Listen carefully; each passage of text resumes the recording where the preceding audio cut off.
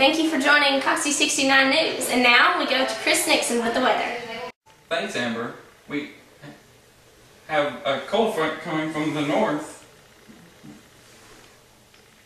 It's hot outside. Sorry, sorry. I'm precipitating.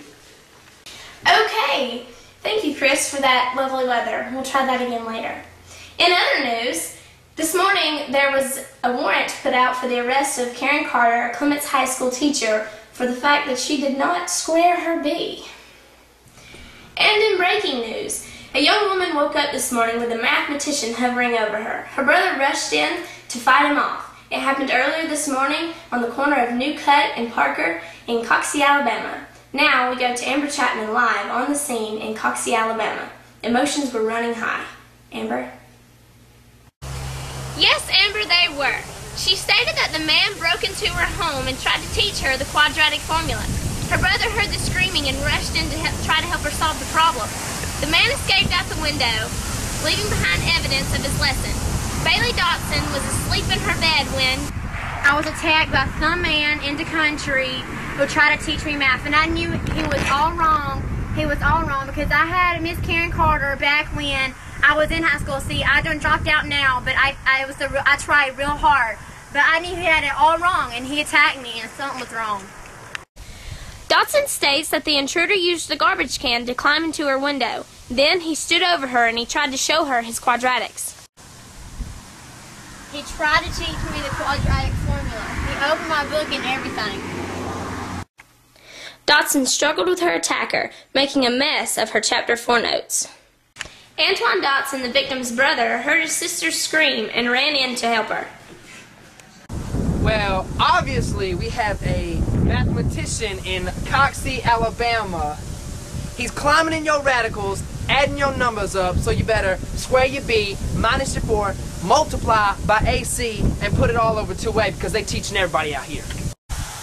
The mathematician escaped out the window, but he did leave something behind. You left your math notes, you done left your calculator. You is so dumb. You is real dumb. For real.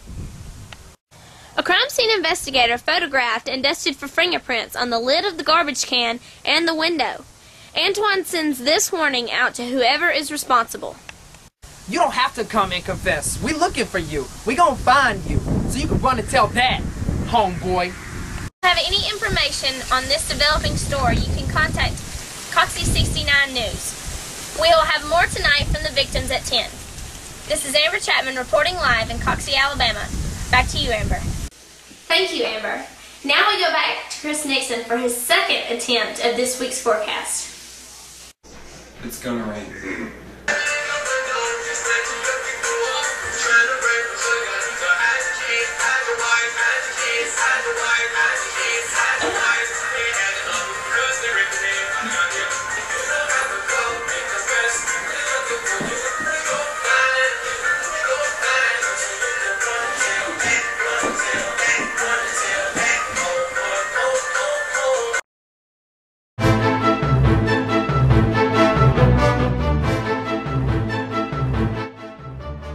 Recording. Just go.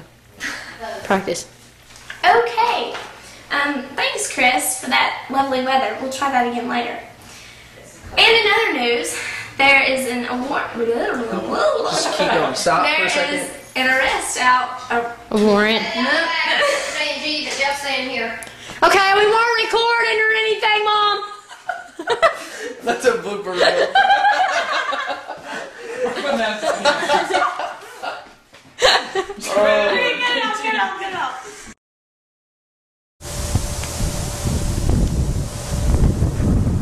We going? or-